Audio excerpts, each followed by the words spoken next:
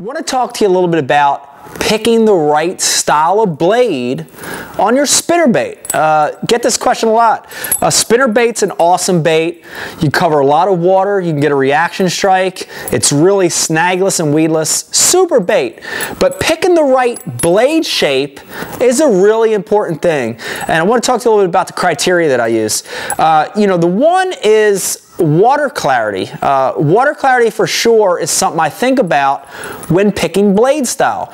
And in clear water situations, without a doubt, my favorite blade style or blade shape is a willow blade.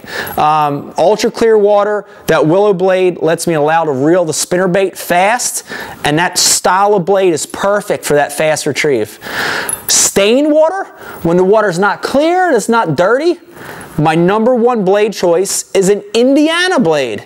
And an Indiana style blade is kind of like a willow, but it's a little more rounded toward the bottom. It's teardrop shaped. And it's perfect in stained water conditions. A little bit more vibration, but not quite as much flash as that willow. And then the last condition is dirty water, muddy water, heavily stained water. In those conditions, I'm going to go with a Colorado blade. And a Colorado blade is the roundest blade out there. It's almost totally round. It's got a deep cup on it. And that Colorado blade is going to allow for maximum vibration. So the first thing I think about for sure is water clarity. The other thing I'm thinking about is forage. Um, and, and you know, I try to imitate the blade style to mimic the forage. When the fish are feeding on long, slender forage species, minnow, shad, little tiny alewives, uh, little herring, I like a willow blade because it's long like the forage.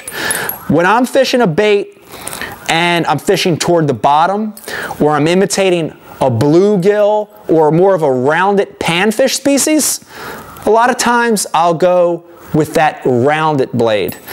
So two things when you're picking your blade styles. Think about water clarity, think about forage, pick either a willow in Indiana or Colorado, and you're going to get even more bites on your favorite spinnerbait.